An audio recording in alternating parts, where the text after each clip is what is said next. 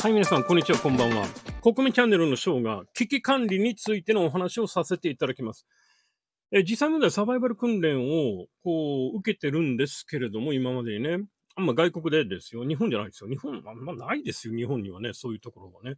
で、訓練施設で受けてますけれども、えーと、例えばですね、まあまあ、あの、具体的な例、後ですぐお話ししますけれども、今現在ですね、日本人、まあ、はっきり言った平和ボケ、もう本当平和でボケてる状態です。これあの、外国に行って住んでみたらわかるんですけど、外国から見た日本人の、もう本当にね、毎日の、その、ニュースで流れている内容、これ全然ね、もう危機感なし、もう全く、もう何やってるんだかっていうようなニュースばかりが流れているんですよ。で、テレビ見てる人多いじゃないですか。自分から情報をね、こう、得るっていう行動に出る人って少ないんですよ。日本人の場合ね。で、あの、それをやってると受け身の状態で、テレビで流れてるものは全てみたいなね、もう脳占領されちゃってますからね。まあ、もう本当洗脳、洗脳、洗脳の世界ということですよね。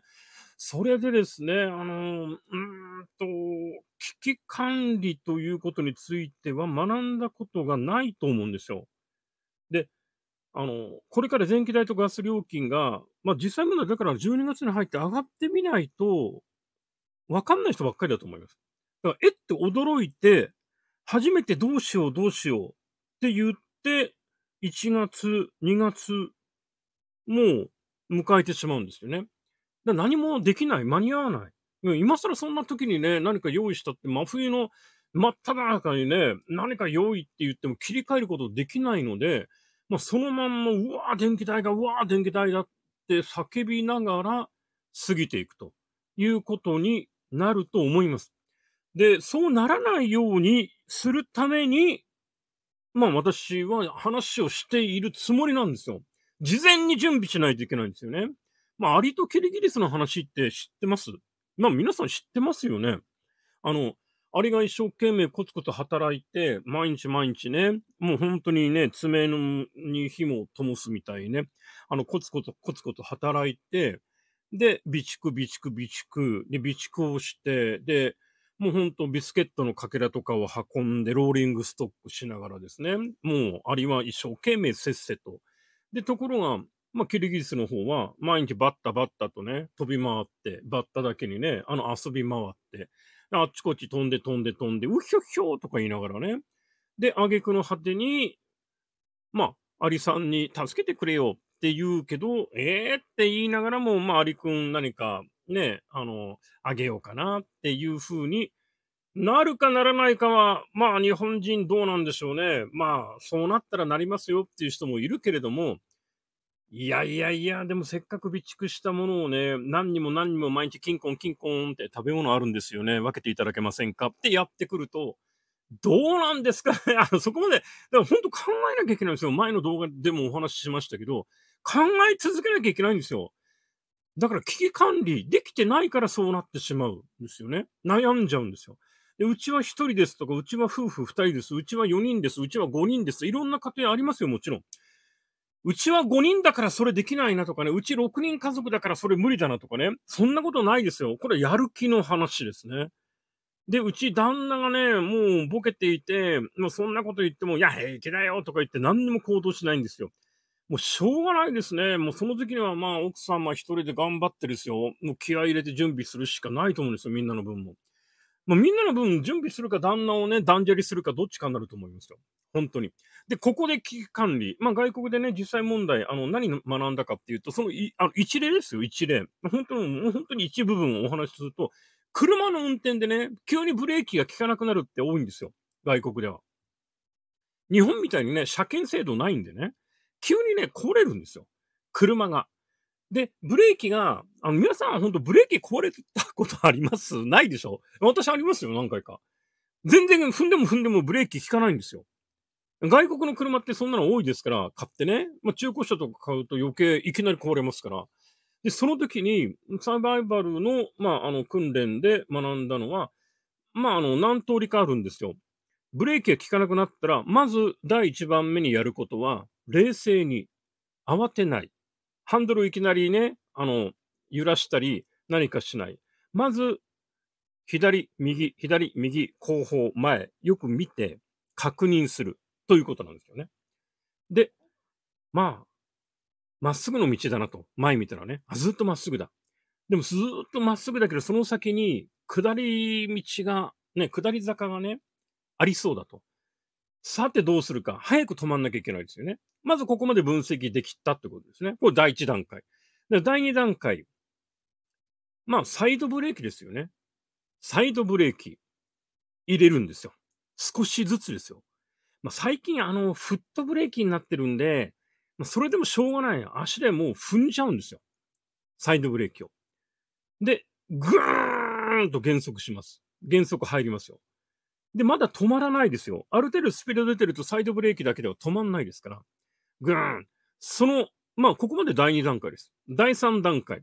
左側か右側どちらかを、まあ、必ず何かありますよね。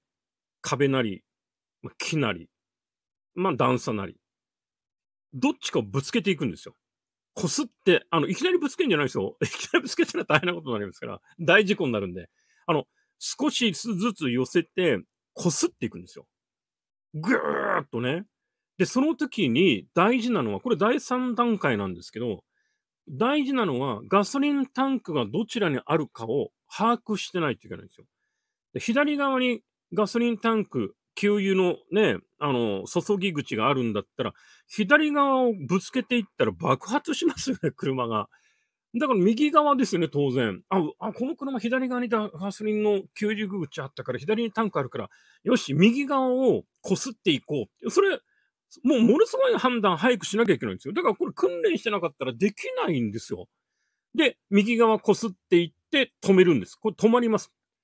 で、下り坂がすごい場合、どうするか。まあ、それで止まることは多いですけど、えー、下り坂がすごい場合はもっと減速しなければいけないので、まあ、これはあの、二人乗りの時ですよね。二人乗ってる時は、ドアを開けて、ドアを足で押さえて、空気抵抗で速度を落とすんです。これかなりスピード出てる時には有効なんですよ。本当に。あの、本当急激に減速しますよ。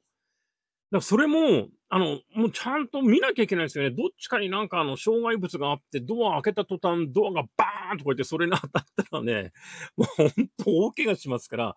だからもう、本当そういうのを学ぶんですけど、まあ私一回それで、あの、サイドブレーキで、あの、昔はね、あの、手動のサイドブレーキ手でやったのがあったので、まあ、それで減速して助かったことありますよ。だからブレーキがいきなり効かなくなるとね、人間、本当焦ります。車って壊れない前提でみんな乗ってるんでね、何か起きない前提でね。だから急にね、何か起きて、もうブレーキなんかまかに間違ってね、効かなくなったらびっくりしますよ。もうほんと。だけど、訓練をしていれば、まあ、一瞬焦るけど、ちょっと待ってよ、あの通りだ。と思ってできるんですよ。そのね、訓練備えて日常からやってないと絶対無理なんですよ。本当に。だから、まあまあ、日本平気だろうとか思ってね、まあ、ボケたこと言ってる人、もうほんと真冬になったらわかりますよ。もうほんとバカみたいな寒さの中ですよ。凍えながら、うわ、これ電気大変だ、ガス、うわ、え、電気停電するの、え、なんで？なんで？もうほんとただのパニック。どうすることもできない。小さな子供がいたりね、あの病気のお年寄りがいたりしたら、助けられない。面倒見れない。何もできない。ほんとこんな辛いことないですよ。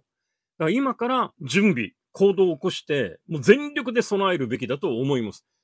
これは毎年の過去ね、ここ10年、20年のこととは全く別物ですよ。本気で備えないとやってくるんですよ。今年はね、間違いないですよ。まあ言った通りになるんですけど、ここまで言ってもまあ、ボケてる人はわからないですね。いや、そんなことにならないでしょうと思いながら、まあ冬に突入することになるということですね。まあ、最大の危機だと思いますよ。やってきます。備えてください。頑張りましょう。チャンネル登録よろしくお願いします。ありがとうございました。